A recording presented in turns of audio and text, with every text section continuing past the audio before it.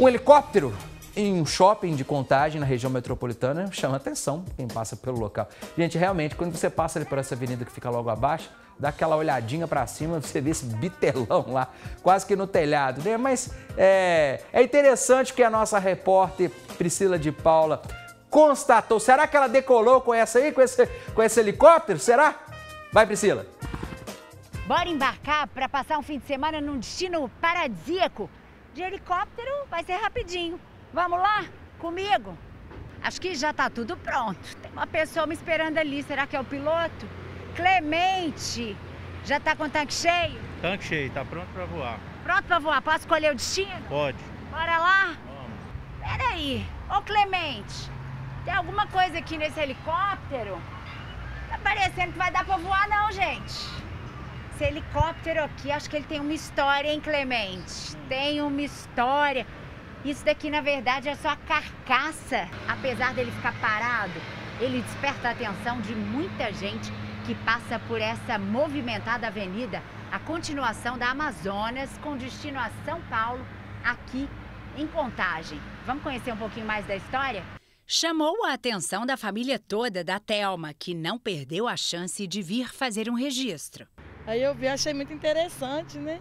Tava lendo ali as informações, que legal, né? Eu li que ele é de guerra, né? Parabéns, né, para nossos militares, para as pessoas também que criaram ele, é muito inteligente. Este é um helicóptero militar que foi muito usado na Guerra do Vietnã. Foram cerca de 7 mil aeronaves como esta no conflito. Só que mais de 2.500 helicópteros iguais foram perdidos, com pilotos abatidos e em acidentes de combate. Este daqui foi arrematado nos Estados Unidos e anos depois veio parar nas mãos do Mário, que decidiu colocá-lo em exibição exibição bem no alto para todo mundo ver. Esse helicóptero ele foi arrematado no Colorado, nos Estados Unidos, por um Belo Horizontino, né? E como sucata da Guerra do Vietnã. Foi trazido para Belo Horizonte, depois ele faleceu e a viúva vendeu para os pracinhas do Exército, os militares da reserva, que já utilizavam ele emprestado para o desfile do 7 de setembro era o Umbel, né, que era o helicóptero principal da Guerra do Vietnã, que a gente vê nesses filmes todos aí, o filme do Rambo também, aparece ele aí nessa porta lateral, metralhando, etc.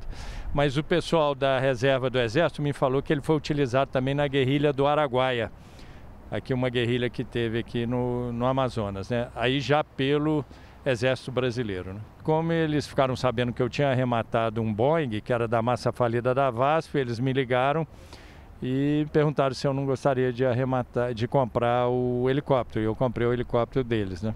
Arrematado como sucata, exibido, ele ganha espaço até nas redes sociais de jovens, como nas da Ana Luísa. Ficou bonita a foto? Ficou linda. Vai, vai publicar. Vou. No Instagram.